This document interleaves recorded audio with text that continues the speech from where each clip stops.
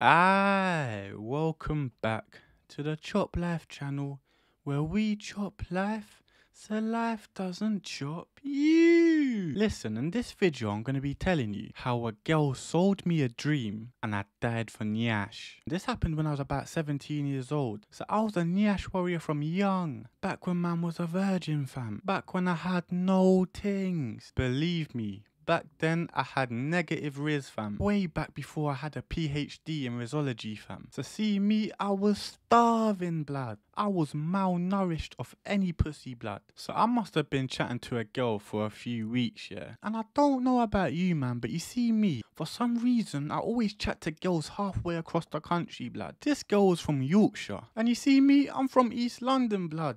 So that's like a four hour coach journey, blood. But guess what? She invited me round her yard for the weekend. And initially, I was thinking, bro, like, that is a trick. You think I'm traveling halfway round the fucking country to come see your ass? But then the energy she was giving me, the things she was telling me she's gonna do to me, bruv, it got me excited. Blood, she had my ting rising over text messages, fam. Fam, I thought this was it. I thought I was gonna get some pussy. So I said, say nothing. Let me book a little coach, fam. I was dedicated to the mission of getting some pussy, fam. So I booked a coach ticket for the coming weekend, and I'm on this coach for four hours, bro.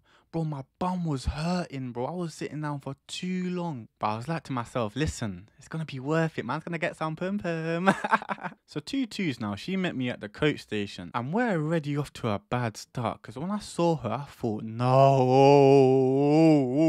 I've been twanged, fam. She's a fraud. Blood, she did not look like what she looked in her pictures, fam. This motherfucker was double my size, bruv. But I thought, listen, I just trekked four hours on a coach. Even though this bitch is a 2 out of 10. I'm gonna have to hit it. I'm gonna have to. Ain't no going back now. I was dedicated to the cause. Fast forward until the evening time. Now we're in her bedroom, fam. Two twos now. One thing leads to another. So now she must have grabbed man's Woodini blood. And I'm out here thinking, lads, it's happening. It's happening. But when I tell you, this was the most uncoordinated hand job I've ever had in my life, bruv. In fact, it was the only one I've ever had in my life. The only way I can describe it is if you wipe your ass with your left hand. Like you could only imagine how hard that is, blood. And I've had to wipe my ass with my left hand before. It's not a good experience, blood. And if you're unlucky, bruv, one of your fingers slips in your asshole, it's, it's, it's long. But the point is, it was uncoordinated, blood. Like she was moving like my Woodini's a gear stick or some shit, blood. The way she was yanking it around, blood. I can't lie. My thing normally bends to the left.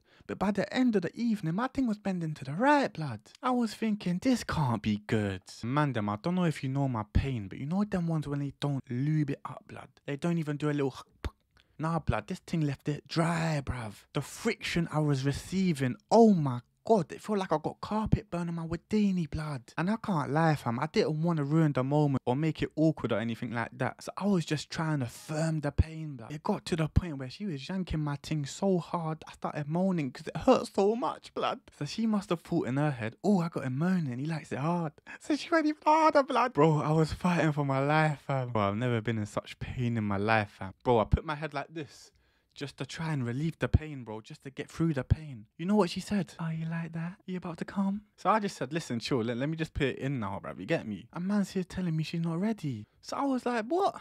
What was all that you're telling me on the phone? And she's out here like, yeah, well, I'm I'm scared, so I've changed my mind, okay? I'm just scared. So you're telling me I travelled four hours thinking man's gonna get some pum pum, but all man's gonna leave with is a Woodini coming like one pepperami blood.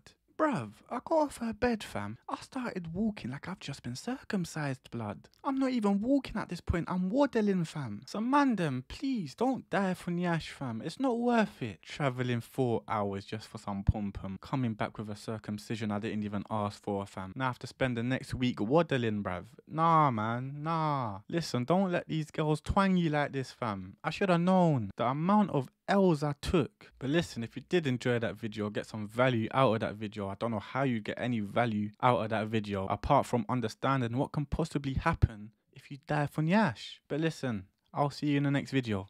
Peace.